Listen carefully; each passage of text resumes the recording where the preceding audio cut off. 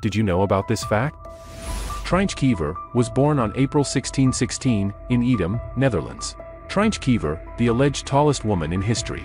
Trijntje's remarkable height has different height figures mentioned in various sources, with the highest being 8 feet, 6.2 inches, 259.6 centimeters.